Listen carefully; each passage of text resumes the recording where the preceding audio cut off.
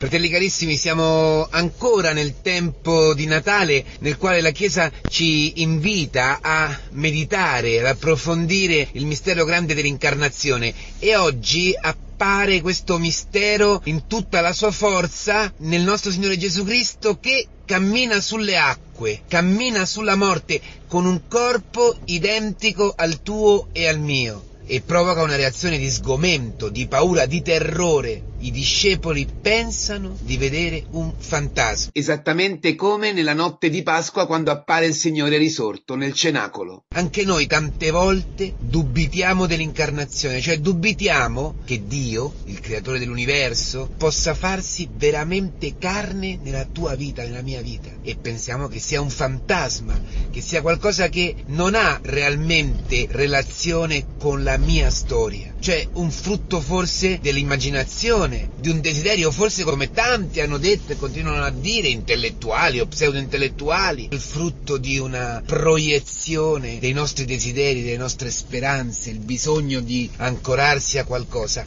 Oggi appare l'incarnazione del nostro Signore Gesù Cristo che svela ciò che c'è nel tuo cuore e nel mio cuore perché dice che non avevano compreso i discepoli il fatto dei pani, il segno, il mistero grande dei pani e per questo erano stupiti, sgomenti, meravigliati, cioè com'è possibile che Dio possa planare nella storia, possa fare dei segni concreti in mio favore, in favore della mia famiglia, in favore delle persone, la difficoltà di ogni giorno, la precarietà che genera poi in noi reazioni che si chiamano peccati, reazioni di difesa, reazioni di mormorazioni, il cuore indurito di cui parla oggi il Vangelo? Ed è il cuore dei discepoli che erano con il Signore, quindi coraggio, non stupitevi se avete il cuore indurito, se abbiamo il cuore ancora indurito tante volte, è il cuore di chi mette alla prova il Signore, di chi dubita del suo amore, come il popolo nel deserto. Se oggi ascoltate la sua voce, non indurite il cuore, prega con sapienza ogni giorno la Chiesa, preghiamo tutti noi, come a Meriba, come nel giorno di Massa nel deserto dove mi tentarono i vostri padri, mettendomi alla prova, pur avendo visto le mie opere. Ecco, come i discepoli, pur avendo visto l'opera, il segno con il quale il Signore aveva manifestato che era il Messia, che era veramente l'inviato del Padre, bene, loro dubitano. Pur avendo visto le opere, dubitano e mettono alla prova. Cioè, siccome la storia non va come dico io, siccome io sono stato ferito da piccolo, siccome io sono stato oggetto di una ingiustizia profonda nella mia vita, siccome oggi c'è un'ingiustizia nella mia famiglia, nel mio posto di lavoro, siccome oggi c'è una malattia che non pensavo proprio di avere, siccome oggi è morta mia moglie, è morto mio marito, improvvisamente, mio figlio è chissà dove con la testa, non mi chiama più ormai da mesi, ha deciso di rompere tutti i legami con me, si sta forse drogando, forse ha intrapreso una storia con una donna sposata. Questo che è oggi la nostra vita, la nostra storia, ci porta a dubitare, vero?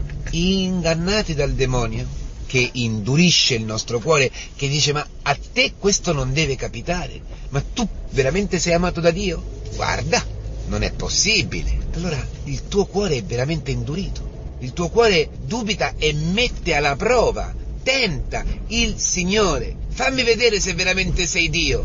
Cioè noi vogliamo una incarnazione secondo i nostri schemi, secondo le nostre misure, secondo i nostri desideri. E il Signore invece non si incarna così. Per questo, subito dice, dopo aver fatto quel segno, il miracolo, prende i discepoli e li obbliga, li prende a calci e li mette nella barca e li obbliga, li spinge ad andare all'altra riva, a precederlo all'altra riva. Cioè, io vengo, voi andate. Dovete fare un'esperienza molto profonda di precarietà, di notte, di solitudine e lì sperimentare che io sono con voi, che io ho vinto la morte, che io conduco la storia meglio di quello che tu pensi dovrebbe essere il modo di condurla, molto meglio dei tuoi miseri, meschini pensieri. Devi fare questa esperienza. Il fatto oggi di essere in mezzo al mare, con il vento contrario, faticando e non raggiungendo gli scopi che ci siamo prefissi, o almeno solo parzialmente, è il segno che Dio ti ama, che Dio ci sta proteggendo. Il Signore stava proteggendo i suoi apostoli dalla vanagloria, dal pensare che quel segno era il preludio a una grande conquista, al sovvertimento della storia. Il Signore li protegge, il Signore ci protegge. Il Signore fa un miracolo, fa un segno enorme del suo amore nella nostra vita e subito ci obbliga ad andare all'altra riva, subito più là, nella precarietà, nella debolezza, sulla croce. Questo è il modo di operare del Signore, perché tu possa fare esperienza della sua reale incarnazione dove tu sei quello che sei, perché soltanto nel buio, soltanto nella solitudine, soltanto nella precarietà totale, tu puoi sperimentare quello che c'è veramente nel tuo cuore, soltanto nel deserto tu puoi sperimentare, come dice la scrittura, quello che c'è nel tuo cuore, se tu veramente ami o non ami il Signore. Quello che tu stai vivendo oggi è il sigillo dell'amore di Dio, della sua protezione che il Signore ti protegge e va a pregare per te. Lui ci pensa a congedare la folla. E qui possiamo fare un inciso brevissimo. Questa è una parola fortissima per i preti, per i genitori, per i rapporti affettivi e morbosi nei quali noi vorremmo fermarci. Il Signore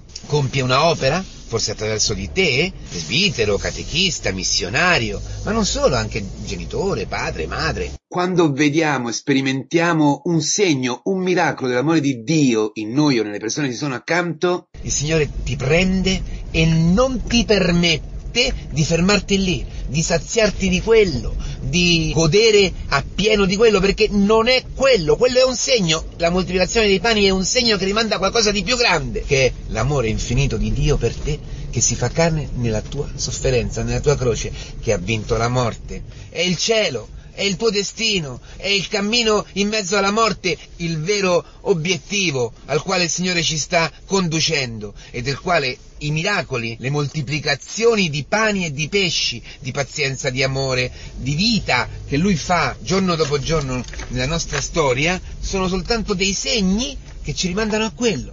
Per cui anche noi siamo chiamati a non fermarci lì, ma a uscire da noi stessi. Ecco, questo è ciò che oggi il Signore ci sta annunciando. Stai nella barca? Cioè stai camminando nella chiesa? E con i fratelli sei entrato nella notte? Sono io, non temere! Sono io, non aver paura, sono io, sono io, sono io, io ti amo. Questo sono io, non temere, è il vertice dell'incarnazione. Ego eimi, io sono, il nome di Dio, è Dio con te, è l'Emanuele sono io nella notte, sono io che cammino sulla morte e poi Pietro farà la stessa identica esperienza e anche tu ed io siamo chiamati a fare la stessa identica esperienza, stare con lui nella barca e vedere placarsi tutto intorno a te. E questo non significa che cambiano gli eventi o cambiano le persone, significa che non ti procurano alcun danno. E poter entrare attraverso la morte nella vita. Non ce la facciamo a precederlo. È così. Lui ci ordina di precederlo ma noi non ce la facciamo.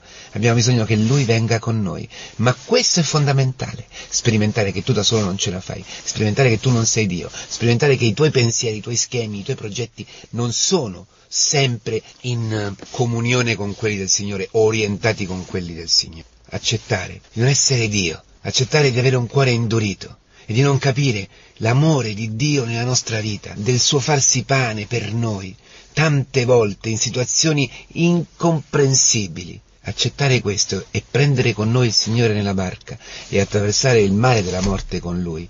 Questo è il destino dell'incarnazione, dentro di te, dentro di me, nella nostra vita, nella nostra famiglia. Entrare con Lui nella precarietà, accettando che alle volte Lui, per amore, sembra che ci scansi, sembra che ci mandi via qualche persona che veramente ti ama, forse un prete, forse un catechista, forse tuo padre, tua madre, forse tuo marito. Il Signore lo ispira a dire, come ha fatto Gesù con la Maddalena, non li metangere. Vai, non ti fermare alla carne, anche se abbiamo conosciuto Cristo secondo la carne, come la Maddalena, come dice San Paolo, già non lo conosciamo più così. C'è un'altra conoscenza, ci sono delle cose nuove che stanno nascendo. Chi è in Cristo è una creazione nuova, già non conosce più nessuno secondo la carne, già vive di Pasqua in Pasqua.